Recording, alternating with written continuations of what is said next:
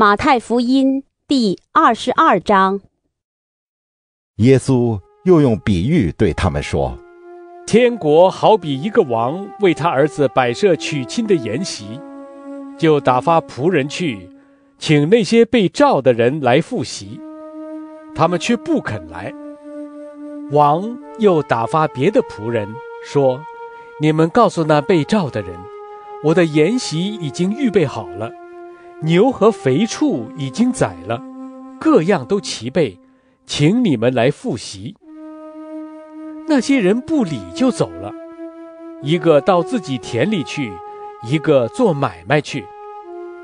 其余的拿住仆人，凌辱他们，把他们杀了。王就大怒，发兵除灭那些凶手，烧毁他们的城。于是对仆人说。喜筵已经齐备，只是所召的人不配，所以你们要往岔路口上去，凡遇见的都召来复习。那些仆人就出去到大路上，凡遇见的，不论善恶，都召聚了来，筵席上就坐满了客。王进来观看宾客，见那里有一个没有穿礼服的。就对他说：“朋友，你到这里来，怎么不穿礼服呢？”那人无言可答。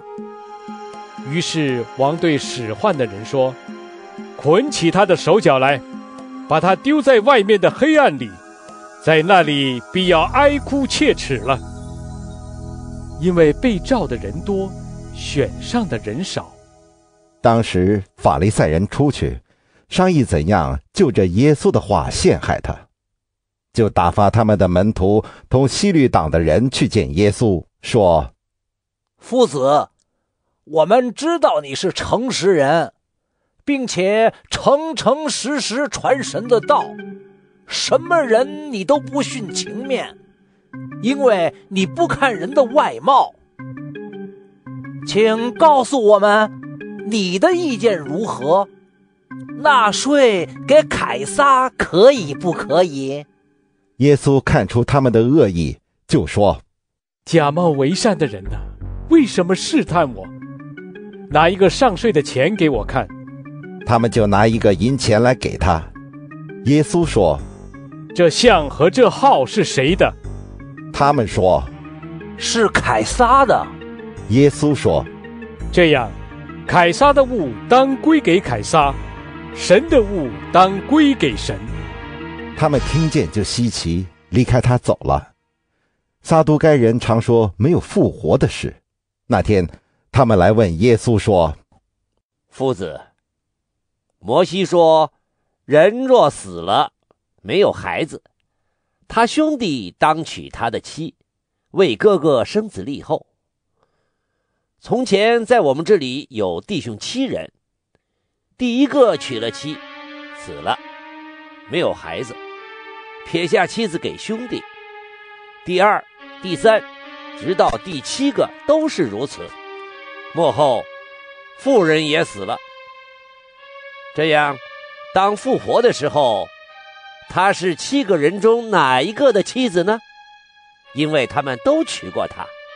耶稣回答说：“你们错了。”因为不明白圣经，也不晓得神的大能。当复活的时候，人也不娶，也不嫁，乃像天上的使者一样。论到死人复活，神在经上向你们所说的，你们没有念过吗？他说：“我是亚伯拉罕的神，以撒的神，雅各的神。神不是死人的神，乃是活人的神。”众人听见这话，就稀奇他的教训。法利赛人听见耶稣堵住了撒都该人的口，他们就聚集。内中有一个人是律法师，要试探耶稣，就问他说：“夫子，律法上的诫命，哪一条是最大的呢？”耶稣对他说：“你要尽心、尽性、尽意爱主你的神。”这是诫命中的第一，且是最大的。其次也相仿，就是要爱人如己。这两条诫命是律法和先知一切道理的总纲。